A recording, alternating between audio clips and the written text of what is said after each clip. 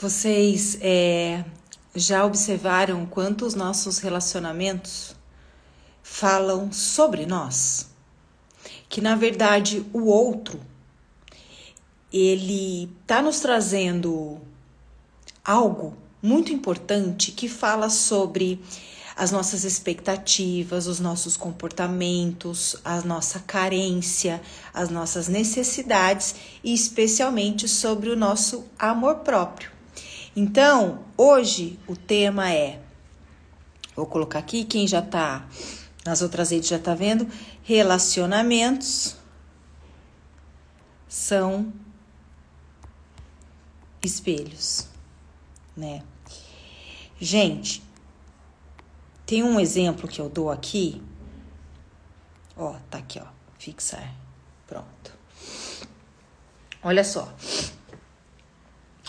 Quando a gente. Tem um exemplo que eu sempre gosto de dar, que é quando a gente faz uma lista dos relacionamentos que a gente já viveu. Vamos pegar os relacionamentos conjugais, tá? Então a gente faz a lista lá dos namorados, dos ficantes, dos ex-maridos, dos ex-noivos, todo mundo que passou. E aí quando você tá fazendo essa lista, tem uns que você torce o nariz, tem outros que você fala, nossa, esse é melhor nem pôr, que eu nem quero lembrar. Isso serve para os homens também, não é só para as mulheres. E aí você olha para alguns relacionamentos que você teve e você fala assim: "Meu Deus, onde eu tava com a cabeça? Como eu pude me conectar com aquela pessoa?" E a resposta é muito simples. Nós somos feitos de energia essa ideia de que o corpo é matéria já é ultrapassada. A ciência já provou que o corpo é energia condensada. Tudo é feito de energia. Se tudo é feito de energia, energia é vibração. E vibração atrai vibração semelhante.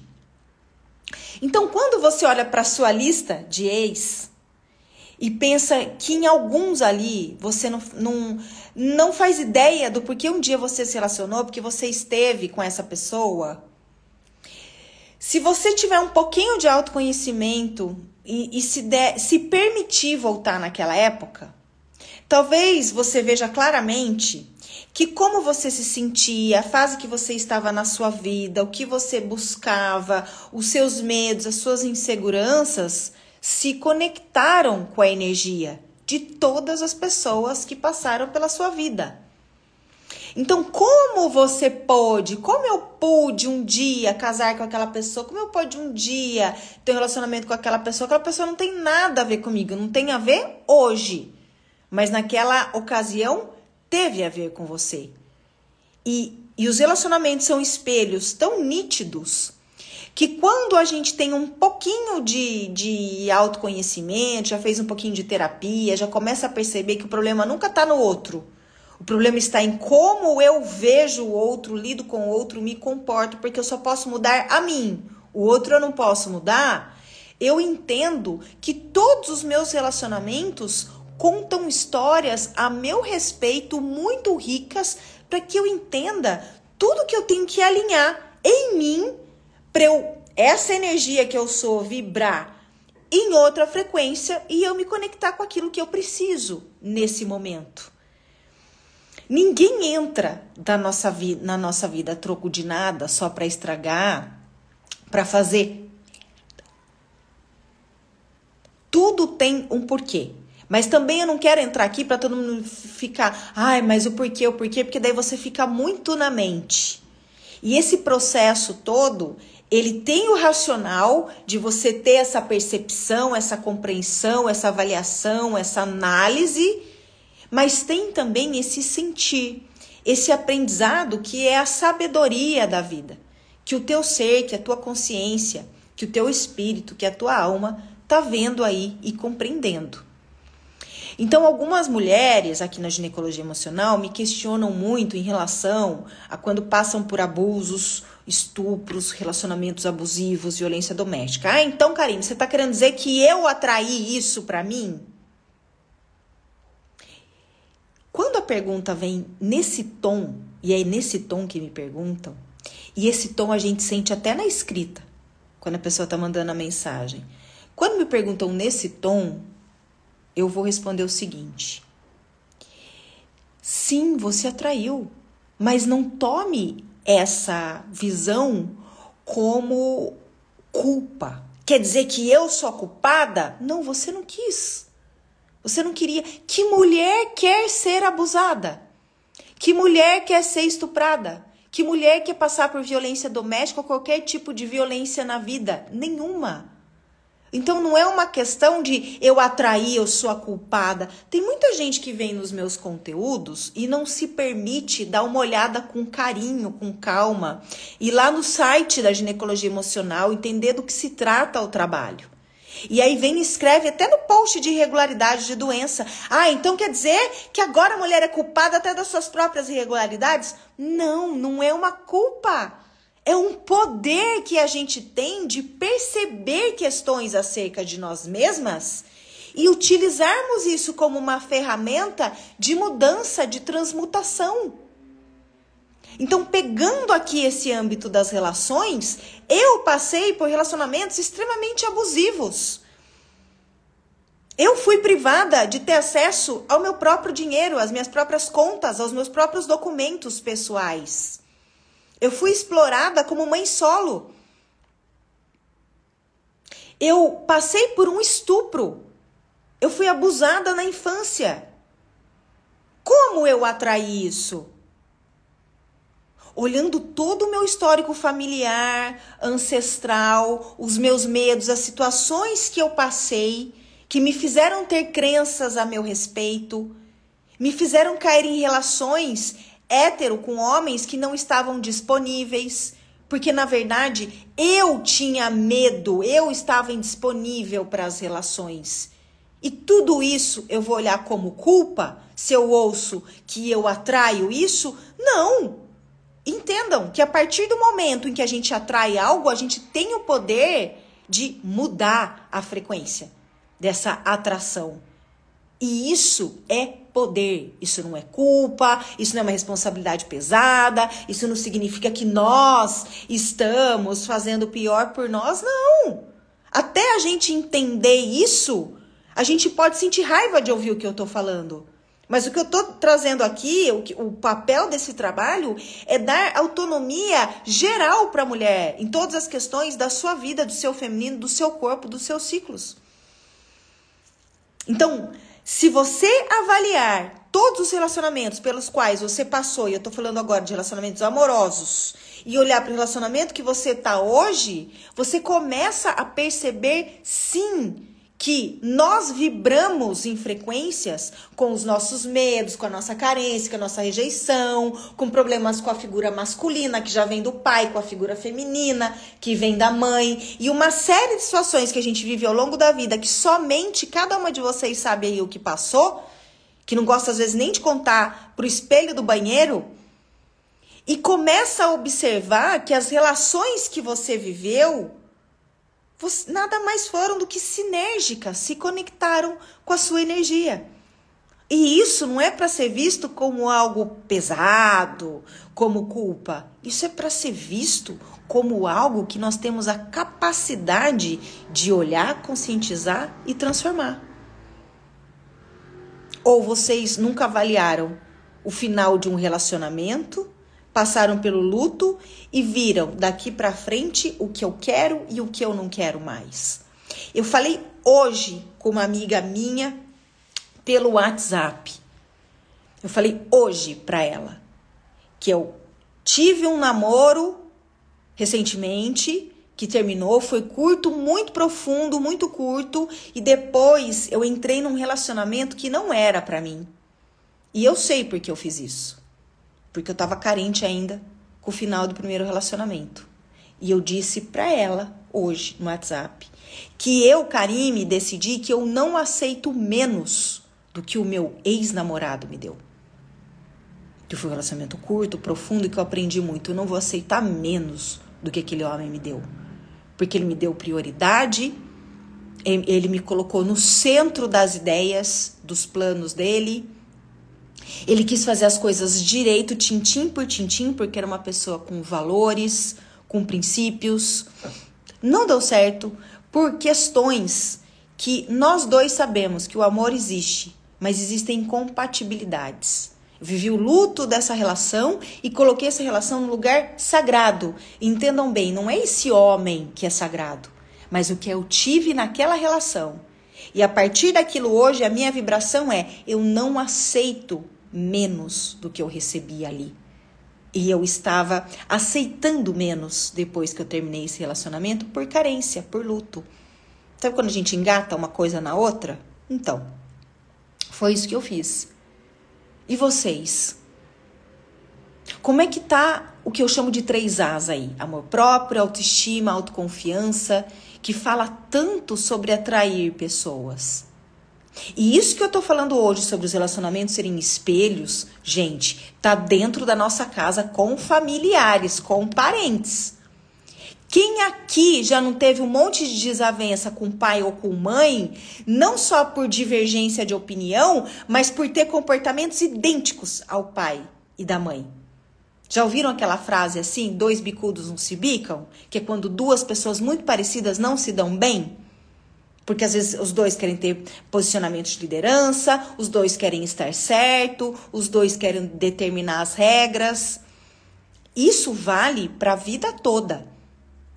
Se você tiver a sabedoria de se avaliar nos seus relacionamentos e avaliar o que você tem naquela relação e o que está faltando para você, você começa a perceber quais são as suas questões e comportamentos que você tem que corrigir para você viver relações onde realmente você vai se sentir feliz. E quero fazer um adendo aqui. Tô lendo tudo que vocês estão escrevendo, já vou voltar nos comentários, tá? Já vou ler os comentários aí, mas eu tô vendo daqui. Quero falar uma coisa super importante aqui que eu tenho pensado ultimamente como uma mulher de 40 a mais, é, divorciada, e que tá aí no mundo das relações de novo. A gente fica vendo muito na internet pessoas é, que falam só sobre relacionamentos, né? Então, assim, eu sigo uma pessoa que fala só de relacionamento para mulheres 40 mais. É, sigo homens que falam sobre relacionamentos. Enfim, tem muita gente, tem de tudo. E eu acho que está acontecendo algo aí que é muito delicado, que eu quero falar para vocês, mulheres que também seguem esses perfis. Que entra muito numa onda do. Tipo isso que eu falei aqui agora. Eu quero até esmiuçar melhor o que eu falei. Eu não aceito menos do que aquilo que eu tive. Né? Ah, para quem está em relação hétero. Vou dar um exemplo hipotético. Ah, se o homem não responde mensagem assim, assim, se ele não faz isso, isso, isso, se ele não diz isso, aquilo, aquilo, outro, sai fora. Gente, calma aí, calma aí. Quando a gente entra e começa a seguir perfis que falam de relacionamento e que começam a falar que só você é a mulher mais foda do mundo, que você é maravilhosa, que você merece isso, que você merece aquilo, Cuidado! Porque todas nós merecemos o melhor. Só que esses perfis geralmente são mulheres que fazem e que colocam o homem no lugar muito ruim, como se todos os homens fossem iguais. Pega todos os homens e jogam num saco só. A gente tem que ficar alerta se não são perfis de mulheres que estão com dores com o masculino. Porque quando a gente tá com dor com o masculino, o nosso discurso, sem a gente perceber, acaba sendo contra o masculino. E aí você não vai conseguir se relacionar com ninguém se você é heterossexual. Então, passa para outro lado, vira bissexual, vai experimentar o que é lesbianismo, porque se começar a entrar no lugar onde nenhum homem presta, onde todos os homens são iguais, onde todos os pais separados largam tudo na mão da mãe, como se tudo fosse igual, você começa a entrar numa postura onde você não confia no masculino, onde você não confia na relação e onde qualquer coisa que o cara não faça e que o perfil tá falando que deve ser feito para você continuar na relação, você não vai considerar as questões particulares do cara. Vocês já pensaram que às vezes uma pessoa leva mais tempo para responder uma mensagem não porque você não é prioridade, mas porque a pessoa tá numa bola de neve e às vezes a pessoa não tem o perfil de virar para você e falar: "Querida, me desculpa, eu não consegui te responder no horário assim assim assim", e você já leva como se fosse é, ah, esse aí tá não tá me dando atenção, tá me deixando de lado. Deve estar tá cheio dos contatinhos. A gente sabe que isso existe de monte, mas vamos avaliar e sair desse senso que está se tornando comum nas redes sociais, onde, ah, porque se o cara não faz isso, é porque ele não tá afim de você. Porque se o cara não responde, se você não for prioridade, e as carências da pessoa? Será que a outra pessoa também não tá achando que ela tem que ser sua prioridade? E aí, como é que ficam? Duas pessoas achando que o outro tem que priorizar. Deixa de ser um relacionamento maduro. Por quê? Porque só fica escutando coisas da internet sobre relacionamento. Cada caso é um caso.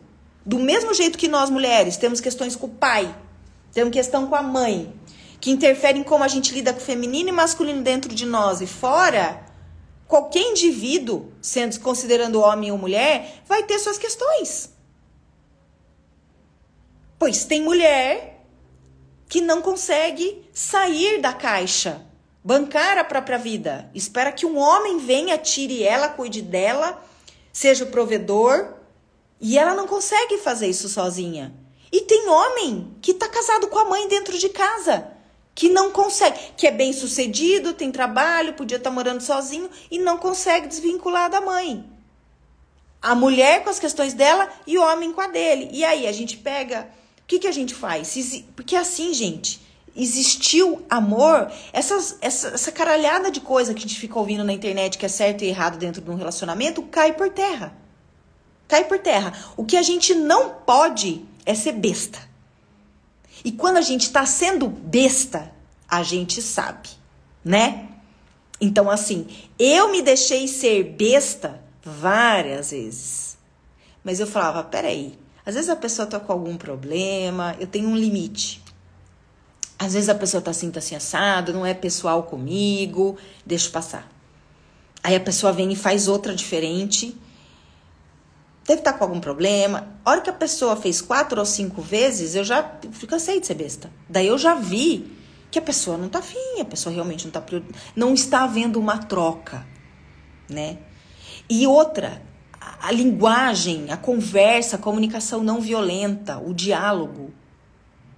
Quando uma mulher ela começa a levantar a voz, ela tem que gritar, ela tem que falar alto para ser ouvida, já tá com problema nesse relacionamento. Esse homem não tá dando espaço para essa mulher ouvir. E quantas vezes eu fui chamada de louca porque eu não era ouvida? E para me fazer ouvida, eu falava alto e gritava, e depois eu sou louca. Né? Então, assim, a gente sabe sim que existem perfis de relacionamentos narcisistas, é, gente que é borderline, é, enfim, tem de tudo. Mas a gente tem que ter discernimento sobre o que a gente está vendo na internet, sobre o que é uma mulher que se valoriza, que eu espero de um relacionamento, e o que é na prática o que se vive. E considerar que o outro também é um ser humano, também tem problemas na vida, também tem os traumas, tem as questões dele. Tem pessoa que fere outra consciente do que está fazendo, e tem pessoa que fere outras porque está perdida consigo mesma, está ferindo si mesma. Por isso que quanto mais a gente investe em se conhecer, a gente entende que o que o outro está fazendo, o que o outro está falando, tem a ver com ele, não tem a ver com a gente. Então, um cara que me larga sem resposta no fim de semana, um cara que fala que eu sou linda, maravilhosa, que adora estar comigo e desaparece, ele pode estar com um problema lá. Eu posso tomar como uma ofensa e ver, bom, esse daí não quer saber de porra nenhuma mesmo. Agora, quais são as questões que ele está passando? Eu não preciso ficar sendo besta e continuar numa relação assim. Eu só preciso entender que o outro tem as questões dele, que agora ele não está disponível. E eu não estou disponível para viver desse jeito e tá tudo certo. Mas por que que eu entro numa relação dessa? Eu contei a minha história aqui, né? E vocês devem ter a história aí de vocês, né? Gente, quanto mais a gente se conecta com a nossa sabedoria feminina, e que está guardada no nosso centro energético uterino, e aí entra muito da intuição, energia sexual criativa, que é de realização, materialização, essa potência que a gente tem, a nossa libido de viver. Mais a gente consegue fazer esse tipo de avaliação, usar esses relacionamentos como ferramenta de transmutação das nossas relações. Então, eu quero convidar vocês a estarem comigo no dia 17 de setembro, ao vivo, na vivência Desperte sua energia sexual criativa. Essa vivência teve a data alterada por questões pessoais familiares minhas. Ela seria nessa semana. Eu já estou fazendo contato com todo mundo que está inscrito todas as inscritas é só para mulheres, é um círculo de mulheres, e ela passou para dia 17 de setembro, terça-feira, às 20 horas horário de Brasília, vai durar duas horas. Nesse círculo de mulheres pelo Zoom, o que a gente vai fazer? Uma abertura, uma explanação, eu vou explicar tintim por tintim do que se trata energia sexual criativa, como se conectar com ela através do centro energético uterino, para que, que ela serve, quando que ela está adormecida. Através disso, a gente equilibra o yin e o, e o yang nosso, depois a gente vai ter um segundo momento onde a gente vai, vai fazer uma prática juntas, que é por escrito, é escrita, de transmutação das relações, inclusive. E para finalizar, a gente vai fazer uma benção do útero, tá? Para vocês entenderem tudo sobre esse encontro e garantirem a vaga, porque é no Zoom, as vagas são limitadas é uma vivência ao vivo com uma taxa colaborativa de 97 reais. Então, o que vocês vão fazer? Vocês vão digitar aqui, quem está no Instagram, nos comentários, a palavra energia. E eu vou mandar o site com tudo sobre essa vivência e as vagas disponíveis para vocês. Pessoal que está no Facebook e YouTube da Resiliência Humana, vocês vão precisar dar um pulinho é, no Instagram da Ginecologia Emocional, tá? Porque aí no replay dessa live de hoje, vocês podem ir lá nos comentários e escrever a palavra energia também, que eu vou mandar tudo para vocês, tá? O legal disso é que por ser ao vivo, a gente abre um campo que não é racional, único e exclusivamente, porque a gente está falando de questões espirituais, sistêmicas, os seus padrões de comportamento nos seus relacionamentos, a sua relação com o seu feminino, com o seu masculino, não começou em você. Já vem da sua ancestralidade. Então a gente abre um campo não só de sororidade entre nós, mulheres ali reunidas simultaneamente ao vivo, mas a gente abre a conexão com a nossa ancestralidade. Um do, dos momentos dessa vivência ao vivo é justamente a gente se conectar com a força das nossas ancestrais. E que viveram muito mais abusos, superaram muito mais preconceitos, numa época onde a mulher Muitas das nossas ancestrais não sabiam ler e escrever, não tiveram direito a voto. Lutar pelos seus direitos, então, nem se fale. O número de mulheres que eram estupradas dentro de casa, estupro marital, nas gerações anteriores à nossa, é gigante, por motivos óbvios. E isso está ressoando no nosso corpo. Essa vivência é para mulheres que também têm questões de bloqueios sexuais, mulheres que estão sem dinheiro, que se veem que não conseguem firmar a prosperidade porque energia sexual criativa não está ligada ao ato de fazer sexo. Eu vou esmiuçar isso bem para vocês lá. Ela pode estar ativa numa mulher que não está fazendo sexo, não tem parceiros ou parceiras, tá? Ela é uma energia de realização, de materialização. Quando a gente tem consciência dela, que é um dos papéis principais desse encontro ao vivo, a gente consegue o quê? Ancorar e fazer ela fluir. Não é do dia para noite, mas vocês vão sair já sentindo a diferença nos três As, amor próprio, autoestima e autoconfiança, e com dever de casa para vocês estarem em conexão com tudo isso, tá? Então, digitem energia aqui nos comentários, vocês vão receber todas as informações sobre a vivência ao vivo de 17 de setembro. Desperte sua energia sexual criativa. Combinado? Gente, eu tô aqui amanhã, hoje às 20 só na ginecologia emocional, no Instagram da ginecologia emocional. Quem tá aí no Facebook e YouTube do Resiliência, hoje às 20, no Instagram ginecologia emocional, eu vou explicar o que é o centro energético uterino e para que ele serve, tá? Então já coloquem o alarme aí no celular de vocês, se faz sentido para vocês entenderem o que é basicamente esse oitavo chakra que a gente tem e como ele é importante para a gente, a gente não tem consciência dele, que eu vou explicar isso num bate-papo ao vivo hoje à noite, bem didático e rápido, como eu gosto de fazer aqui, tá? Espero vocês então hoje. Um beijo enorme no coração de todos vocês que estiveram aqui comigo hoje. Peraí, deixa eu ver aqui. Deixa eu só ver que tem um comentário aqui, ó. A Daia fala lá do Facebook, eu sofria no relacionamento sem querer ser de tantos relacionamentos tóxicos que já vivi. Acho que criei um escudo, o que é normal, Daia. Mas a gente tem como quebrar, olhar para essa história e se abrir para o amor verdadeiro, porque ele está disponível para todas nós, tá? A gente tem como ressignificar esse passado de uma forma em que a gente se abra, em que a gente confie, em que a gente não tenha medo. E voltando ao que eu falei aqui anteriormente, né? Tudo que o outro fez fala mais do outro. Atingiu a gente do eu, mas fala muito mais do outro do que da gente, né? Só fala pra gente a... o que é que a gente deve avaliar para que a gente não reviva isso. E se você tem feito isso, eu acho que você já tá um bom caminho de mudar essas situações, né? E eu acho que ia ser excelente para você estar tá com a gente dia 17 na nossa vivência ao vivo também, tá? Fica o convite. É, deixa eu ver quem tá aqui no Instagram. Vamos lá.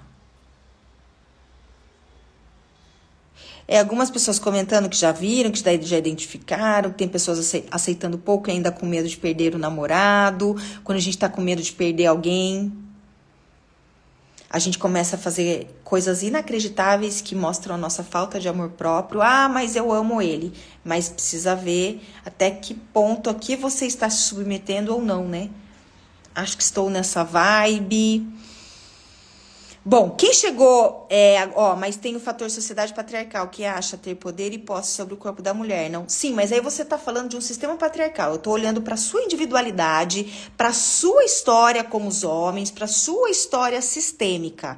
Vamos sair do senso comum, porque senão, se a gente bate muito nisso, Fefa Machado, a gente cai nisso que eu tô falando que a gente tá vendo na internet onde todo mundo pega, assim como a sociedade patriarcal olha para o corpo da mulher dessa maneira, a gente começa a fazer a mesma coisa, entrar na energia deturpada. Jogar o homem tudo no mesmo saco, achar que tudo é patriarcal, que todo mundo objetifica a mulher. E não é bem assim. O que eu estou falando aqui é mais profundo. É você avaliar a tua história, os seus relacionamentos e tudo aquilo com o que você se conectou no seu histórico das relações, entendendo cada fase da sua vida é porque você se conectou com o que você se conectou e o que você transmutou desde então para poder mudar essa vibração e estar tá em conexão com pessoas sinérgicas num novo momento seu, em relação ao seu auto-amor, à sua autoestima, ao que você espera das relações e ao que você também está disponível a oferecer dentro de uma relação, porque não é só o que o outro pode fazer pra, por nós. Relacionamento é uma troca, né? Ó o joinha. Gente, quem chegou depois, o replay desse bate-papo fica disponível em todas as redes que vocês estão acessando, Facebook, YouTube da Resiliência Humana, aqui no Instagram da Ginecologia Emocional. E eu espero vocês hoje às 20 no Instagram da Ginecologia Emocional, especificamente para entender mais sobre o centro energético uterino e como acessá-lo, para que ele serve como acessá-lo tá bom? Vejo vocês logo mais. Obrigada pela companhia. Uma excelente semana para todos nós que está se abrindo agora. Beijo no coração, até mais tarde. Tchau, tchau.